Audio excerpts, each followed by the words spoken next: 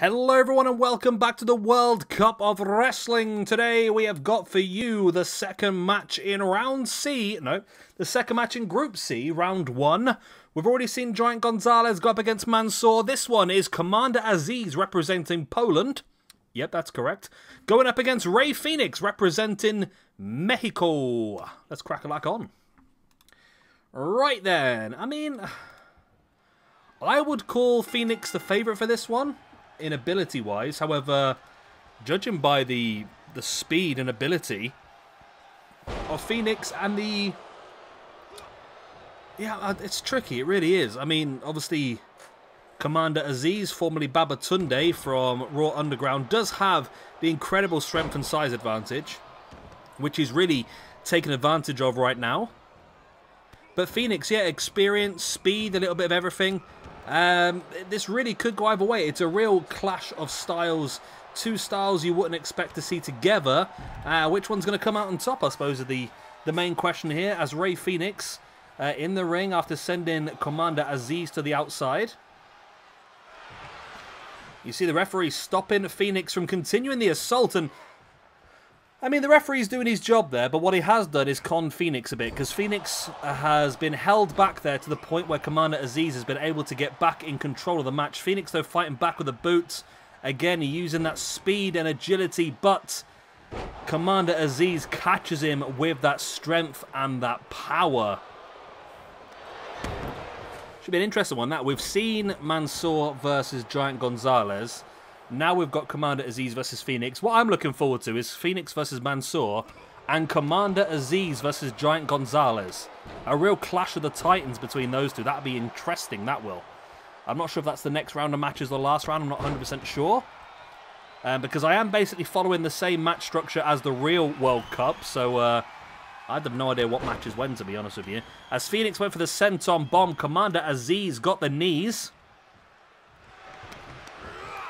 Azeez now taking Fenix up once again, slams him spine first into the turnbuckle, then throws him into the ring, and then raining down that big forearm into the face. And again, another stiff forearm. Fenix is back up, went for the running strike, not able to get there. As there's the strike in the face, and now Azeez in with that spine buster on the apron. Like I said before, that is very painful. That is uh, solid steel. Nice backdrop.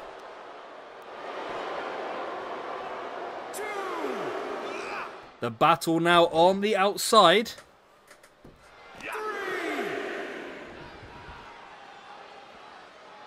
Azeez now with a spine buster.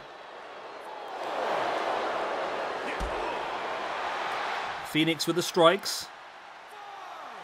And the referee's up to a five count. Remember, a count out would class as a loss for both if uh, they both get counted out. Which would be an incredible result for um, for Giant Gonzalez, who won earlier, wouldn't it, really? But both men now back in the ring. Fenix allowing Commander Azeez back in. Fenix with a kick across their head. But Commander Azeez is having none of it. Fenix again using his strength, or using his speed to slide out the back of that. Tried to catch Azeez, but Azeez caught him with that power bomb. Wow. I mean, I wasn't expecting Azeez to be doing so well here, to be honest, I must say.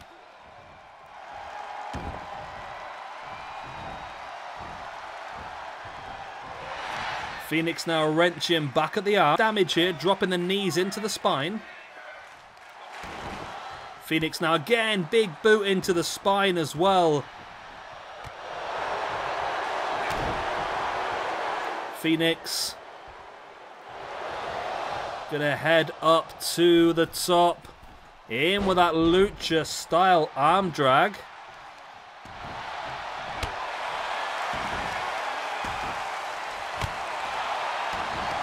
Fenix now with a strike into the spine. Another big strike into the spine as well. Going in for the pin. Will this be enough? No, it's only a two count, but it's a two count nonetheless.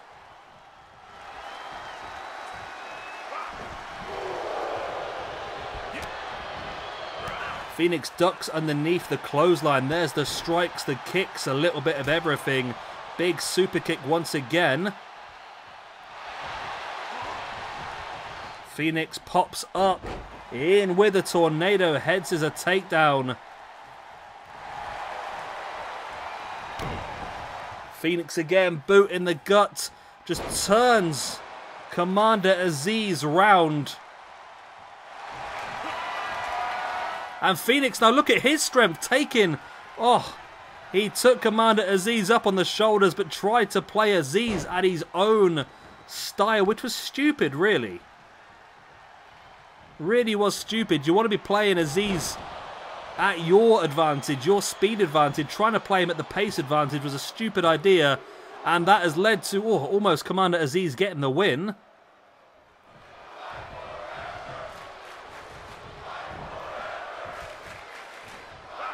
Azeez now in control, taking Fenix up once again and slams him down. Commander Azeez representing Poland looking incredibly strong here. Looking to take him up, but Fenix fights back with the elbow in the face. Has the hand locked once again. And now heading up into that arm drag takedown. Azeez now gets taken up on the shoulders and dropped in that crunchy style maneuver by Fenix, who goes over the top.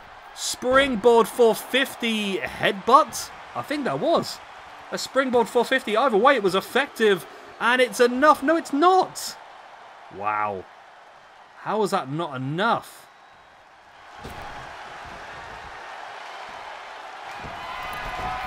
Fenix looking for that springboard 450 again. Azeez avoids and spears and takes down Fenix. Azeez now with a headbutt right between the shoulders.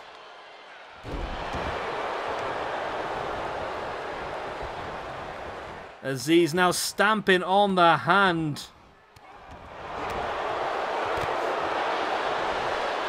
Big boots in the spine, in the leg, in the back, a little bit of everything.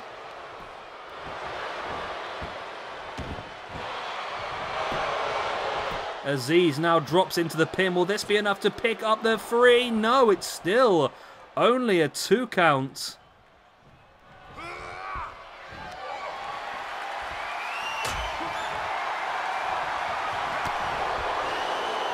Big uh, knee in the gut, and now Azeez taking Fenix up on the shoulder, drops him face first.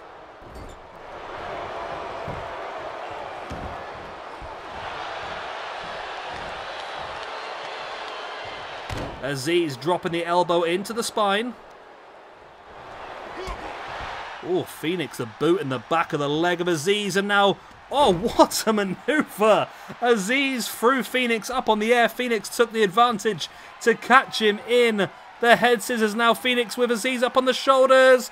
In for that Mexanoko driver.